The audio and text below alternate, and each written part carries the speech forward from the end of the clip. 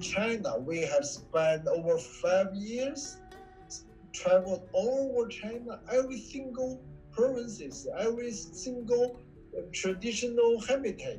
For the last uh, five years, we only found, together with uh, all people in China, we only found about 20 Chinese family, which, you know, in one Hunan province, in one province, in 30 years ago, there are 200,000 Pangolins.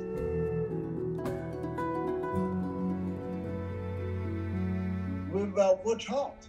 We will sue all anybody to issue any permits. We will sue them. We will, we will sue all the companies, business, hospitals if wherever they use pangolin skin.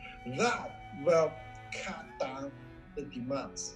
So we believe starting this moment, the confiscated number will drop first time over the years.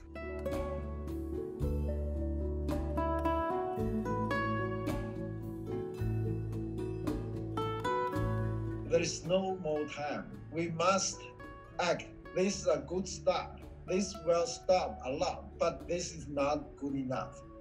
We want to burn all stock. The confiscated scale must openly burn. That's my next request. I'll make it happen.